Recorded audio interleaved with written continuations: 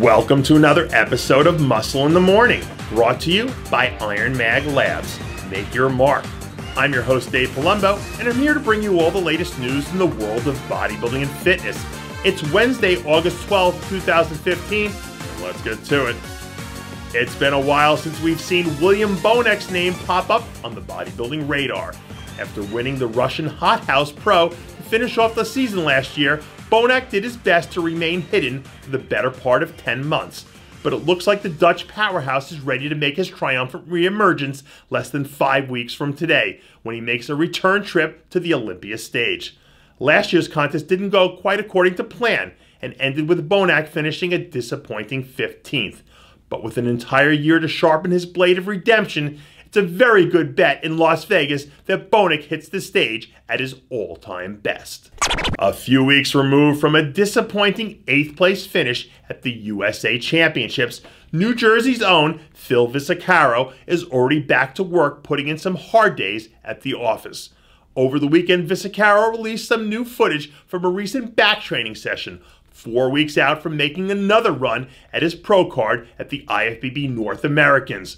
When asked about what sort of changes we can expect to see from him, Visacaro told Muscle in the Morning, quote, My issue is fullness, plain and simple. My physique is like night and day when I'm full and when I'm flat. I'm planning to take the stage around 236 to 244 pound range, but my focus for now is getting shredded.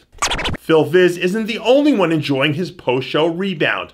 USA light heavyweight champ and newly minted IFBB pro Thomas Lenihan is also looking pretty mean these days.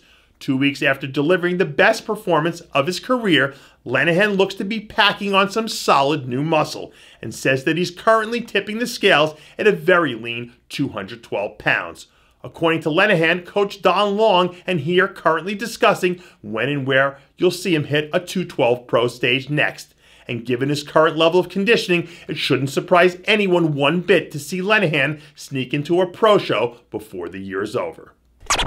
Less than 40 days out from making her Olympia debut, Kira Neuman is busy putting in some serious work.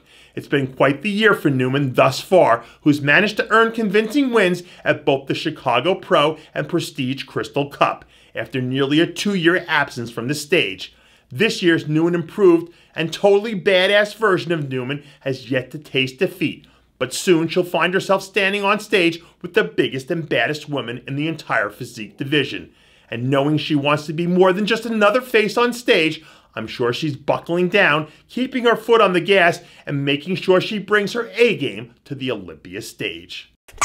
It looks like Antoine Vaillant is making a serious run at getting back on stage in the near future. Vaillant was spotted in the gym knocking out a good old fashioned bench workout recently, and I think it's safe to say that he's got things firing on all cylinders once again. We haven't seen Vaillant take the stage since his rookie season back in 2013, when he had two forgettable performances at the New York and Toronto Pro shows, before deciding to take some much needed time off from competing.